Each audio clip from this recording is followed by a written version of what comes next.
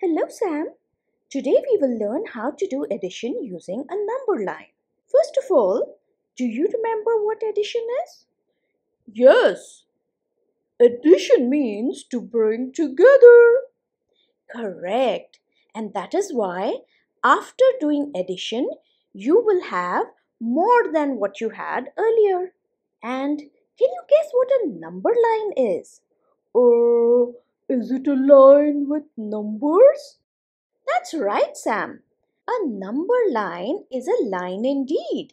And it is a line which has numbers placed at equal gaps. And the numbers are in sequence. I can also see arrows placed at either end of the line. Why do we have that?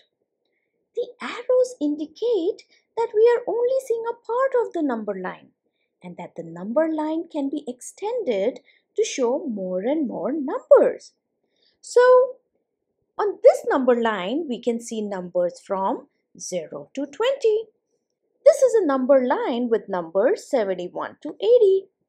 And this is a number line from 50 to 65. For our addition, we will be using a number line starting from 0. Let us solve 5 plus 3 using the number line. The first step is to make a big jump from 0 to the first number. Our first number is 5, so here is the big jump from 0 to 5. Step 2 is to jump forward one number at a time as many times as the second number. Our second number is 3, so we will be making 3 jumps. 1, 2, 3. Step 3 is to note down the number we have landed on as that is our final answer. So we landed on 8. So this tells us that 5 plus 3 equals 8. Why don't you try now? Solve 6 plus 5. Okay, so the first step is to jump from 0 to the first number. Our first number is 6 and here is the big jump.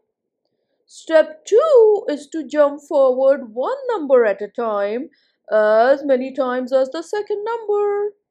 Our second number is 5 so here we go. 1, two, three, four, and five. Step three is to note the number we have landed on as that is the final answer. We landed on 11.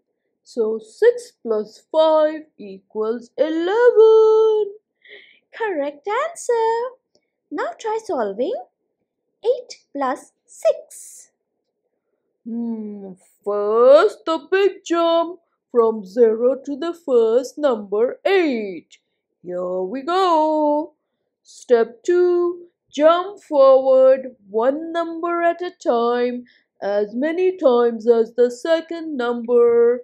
Second number is 6, so one, two, three, four, five, six.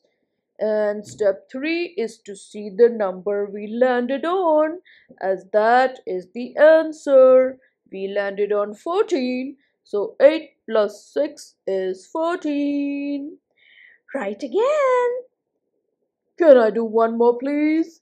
Sure. Solve 11 plus 7. Hmm. Step 1. A big jump from 0 to the first number 11. Step 2. Jump forward one number at a time as many times as the second number 7. 1, 2, 3, 4, 5, 6, 7. Step 3. We note down the number we have landed on as that is the answer. We landed on 18. So 11 plus 7 equals 18. Excellent, Sam. You have learned one more addition technique. Please like, share and subscribe.